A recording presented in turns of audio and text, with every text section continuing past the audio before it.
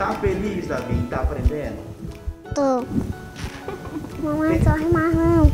Essa criança cheia de vida é o Davi. Por conta dessa deficiência, a Marina, que é mãe dele, acreditava que o pequeno teria dificuldades no aprendizado quando começasse a estudar. Mas aí aconteceu totalmente o contrário.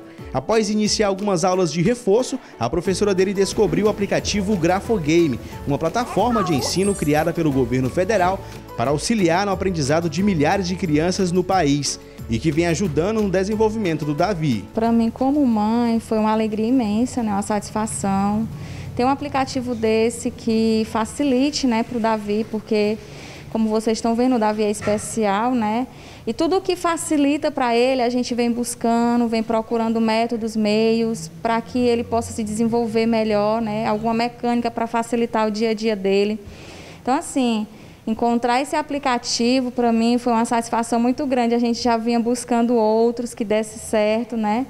Para ele e aí graças a Deus a gente conheceu esse que deu certo e eu fiquei muito feliz porque ele se desenvolveu, eu vi resultado e isso para mim foi uma satisfação imensa. Através do app, o Davi já aprendeu a identificar o que são as vogais, as consoantes e até mesmo o alfabeto inteiro. Não é mesmo, Davi? Eu gosto de ver letras, fazer e jogar e aprender. Todos os dias você, você estuda? Sim, todos os dias. Não tem nenhuma dificuldade? Não. Para você é fácil? Sim, é muito fácil. A determinação do Davi em querer aprender foi tão grande que vários vídeos dele viralizaram nas redes sociais e chamou a atenção até do secretário nacional de alfabetização, que veio a Teresina só para conhecer de perto a história desse pequeno estudante. Carlos Nadalinha esteve aqui na capital na última segunda-feira e veio até a casa da própria família, algo que eles jamais imaginaram. Foi uma honra recebê-lo, muito humilde, muito humilde, muito humano, muito educado sentou-se ao chão aqui com ele, brincou com ele.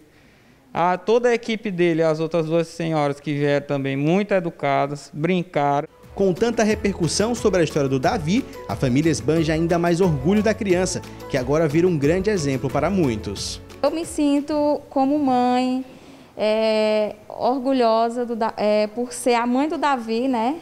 Por ter o filho que eu tenho, porque o Davi, ele é uma luz, ele é uma alegria que contagia todo mundo. E para mim, assim, como mãe, eu fiquei muito feliz. Eu estou muito orgulhosa, orgulhosa do Davi e eu sei que o Davi nos trará mais orgulho ainda, porque ele é muito inteligente. Ah, e o Davi fez questão de deixar um recado para todas as crianças do Brasil. Jogue o Grafo Game. Vocês vão ficar inteligentes que nem eu.